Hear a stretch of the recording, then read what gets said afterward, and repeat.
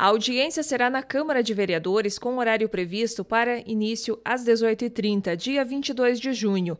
De acordo com o secretário municipal de Planejamento Urbano de Pato Branco, Gilmarto Meleiro, esta será a quarta e última audiência sobre o plano diretor do município. Será realizada a última audiência de revisão do plano diretor. Essa audiência trata é, basicamente da consolidação das propostas e as leis que serão encaminhadas para o legislativo na sequência.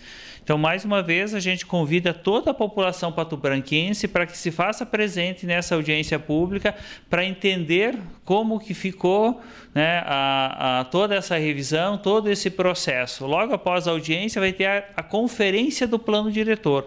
É onde a gente vai mostrar tudo que a gente tem feito nessa revisão do plano diretor. Tanto nós como o município, como a empresa que fez a consultoria e o resultado final. Então, início às 18h30 horas na plenária da Câmara de Vereadores. É um documento importante para o município, por isso a convocação para a população participar desse momento. É uma exigência do Ministério das Cidades que o plano diretor seja um plano diretor participativo. Então, mais uma vez, a gente reforça para a comunidade participar, porque é da comunidade que vem é, os desejos, os anseios, né, a maior necessidade de, de, de essa revisão do plano diretor é, vem da comunidade mesmo.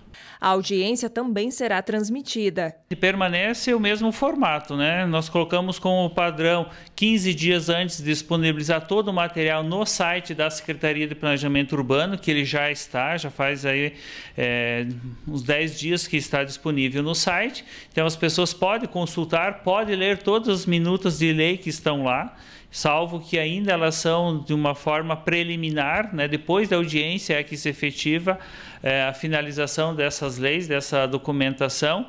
E para quem não puder estar na Câmara de Vereadores nesta quinta-feira, pode assistir via canal do YouTube nos meios de comunicação oficial aqui do município e que também ficará gravado a posterior para qualquer momento se fazer uma consulta.